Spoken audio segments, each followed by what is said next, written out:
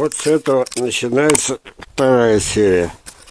Вот. Невозможно вырастить ничего, не зная этой книги. У меня сегодня у нас пятница, вот послезавтра вебинар. Так. И я приведу три примера. Самый страшный из них, когда женщина, обращаясь ко мне, вот, в разговоре сказала следующее. Ну, это, я пользовался, ну, у нее погиб сад. Я клянусь Богом, я ничего не преувеличиваю. Я говорю только то, что обязан сказать. Это мой долг перед страной, если уж так громко говорить. Потому что вот этот манжурский абрикос должен, его потомки уже в миллионах садов должно быть, а этого нет. Это мой долг. А у нее, вы понимаете, как прежде чем погиб сад, она сказала следующее. Я выполняла все, что было написано поэтапная ежегодная обрезка деревьев. Я говорю, а вы с дерева спросили, ему нахрен нужна ваша обрезка-то? Вы с деревьями советуетесь. Они растут, у них миллионы лет позади. Их форма совершенно, правда, для определенной местности. Что-то меняется, когда меняется климат. Кто бы спорил. Вот. И переносим на тысячи километров. И на север переносим, на восток на глинистую почву, на, на песок, на, на скалы. Конечно, есть проблемы. Но тем более не трожьте вы, оставьте в покое, не калечьте. Ему и так, не, с каждым разом все труднее и труднее. Все севернее, все это. Залазит уже, наши плоды залазят уже туда, где вчера да эти самые, даже дикие груши яблони не росли, а сегодня вот это растет. Вот выговорился. Поэтапное. Вот что надо читать. Вот это вот это. Если бы она вовремя эти книги выписала, у нее сад был бы цел. Опять я ругаюсь, опять шашкой маху. Вот. Это я к винару готовлюсь. Итак, идем. Видите? Это слева венгерка. Видите, снизу вылез побег. Это манжурский абрикос. Как чудо жду. Листья крупные как чудо жду, какие будут плоды. Надеюсь, не 15 грамм, как у его отца или матери. Ну, я называю патриархом. Вот, видите? Королевский абрикос, роскошные плоды. Ниже прививки вылез этот. Вон он, побег. Вот он, вот он, вот он. Опять чудо жду. Какой он будет? Надеюсь, два-три раза крупнее.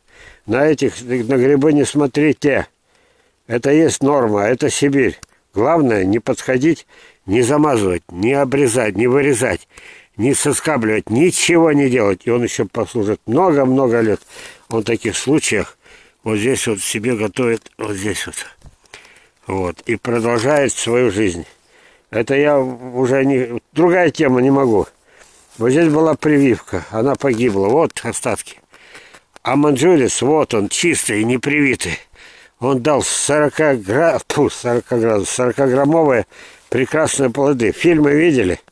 Показывал с дерева, я же их, знаете, не привязывал. Вот. Порадовал второй, 40-45 грамм.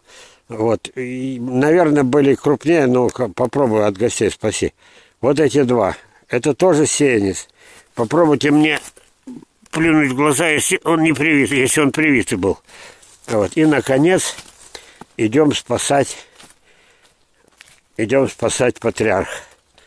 Вот он. Сейчас, когда он оголился, он не кажется крупным. Это размер трехэтажного дома. Когда он весь был, был. В листьях, вот там, вот, это три этажа. Вот. Теперь смотрим дальше. Вначале, как он развивался. Были страшные ошибки. Вот он. Это я много-много лет назад, допустим, 30-35 лет назад, я взял и сделал обрезку на кольцо. Вот, я был дурак дураком. Хорошо бы, чтобы кличка это не привыкла ко мне. Вот, помните, Иван Дурак. Вот, но был Иван Царевич. Вот, у меня еще есть одна кличка, Наполеон. Но я еще не в сумасшедшем доме, поэтому я отказываюсь от этой клички. Так вот, росла дерево. И что было? Рана заросла? Нет. рана только увеличивалась в размере. Вот она. И если его распилить, как я патологоанатом распиливаю деревья, увидите, что там половина мертвечины, половина. И это одна из причин, почему на сороковом году, смотрите, половина веток мертвых. Почему? Вот она причина. Была еще одна. Начинается от этого и идет дальше. Наверное, все-таки три фильма будет. Посмотрим. Итак, здесь половина, если распилить поперек, если мы станем патологонатами, здесь половина мертвечины. И, наверное, вот эта ветка выше, из-за того, что хрупкость появилась необычайная вот в этом месте, неполноценно проходила, неполноценно вот здесь проходил сок, вот эта ветка стала более хрупкой. И у меня есть фотография. Огромная ветка под снегом рухнула. Вот. Рухнула вот в этом месте. Но я опять не стал, уже не стал вот эту дурью маяться. Я уже вот так не отрезал за подлицо. Сколько мог, огрызок спас. И этот огрызок дал потом вот эту ветку, и она уже дала после этого за последующие годы, ну, бедер 10 точно, хотя она еще маленькая. И эта ветка будущее с этого. Почему? Подхожу к этому. Итак, фу, на этой ветке, которая родилась, хотя бы ее бы не должно, не имеют права быть, если по науке вот так надо было отрезать, на кольцо. Я сколько мог спас, еще раз говорю, вот этот огрызок. И вот она, этот огрызок дал ветку. Теперь смотрим вот эту ветку, нет, вот это можно привить. Посмотрите на толщину пальца. Вот. И уже трое сказали, привьем. Вот это можно привить, два. Вот это можно привить, три. Вот там еще четыре, пять. Так, так, так, так, так, так. Четыре, пять. Четыре, пять. Что-то я вроде больше видел. Так. Четыре, пять. Ох, вот эти тоньше. Ой, жалко-то как. 6-7. 6-7. И вот эти вот очень-очень мелкие. Согласитесь. 8-9, ну, с десяток вот. Ну, вплоть до таких мелких. А тут уже очередность. Самая толстая достанутся гречишниковая волшебница. Ну, толстая из тонких, они все тонкие. Ну, вот, наверное, самая вот, вот уж уже лучше не найти. Вот. Ну, а там, в общем, э, четвертому, пятому уже ничего не светит. Но, еще раз, вот потомство прямое. Видите? Здесь все было, все было. И здесь э, невиданная, невероятная схожесть была. Это все было уничтожено, потому что столько никому не надо. Вот. Если кто-то помнит, у меня еще фотографии сохранились, и, все фильмы. Вот здесь вдоль забора сразу как-то поленились это скосить. Вот только вот на этом расстоянии, это в начале лета, здесь сотни сеянцев росли. Сотни. Теперь, чего эти ждут?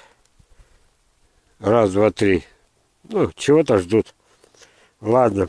Если бы я вот это дерево бы спилил полностью, так, то есть э, спилил бы э, патриарха, маньчжурский абрикос патриарх, название самопровозглашенное. Какой-то из этих я бы оставил навсегда.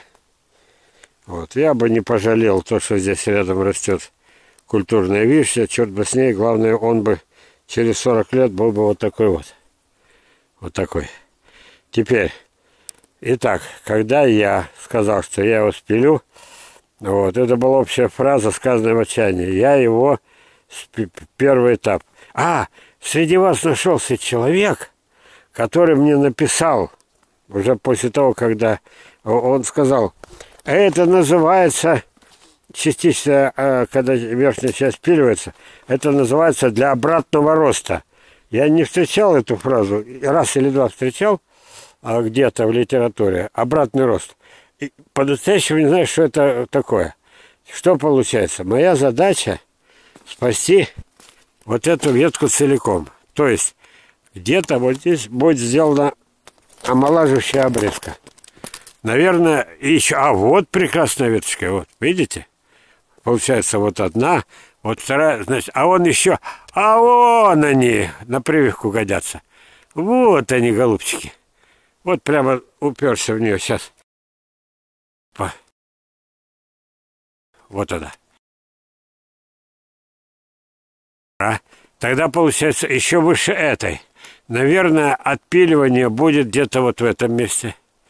Ну, то есть э, на высоте 2,5 метра. Наверное, отпиливание.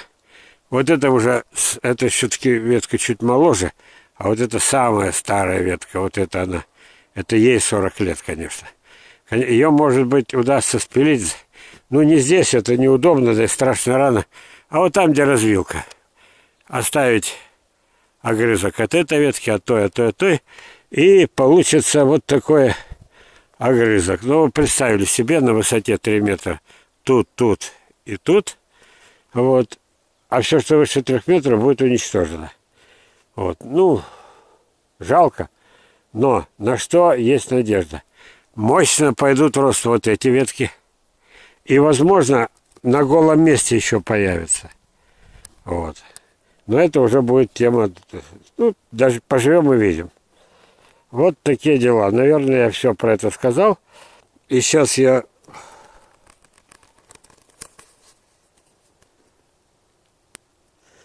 Так. Сейчас я закончу. Пойду в тот сад, потому что там у меня есть работа продолжение этой темы.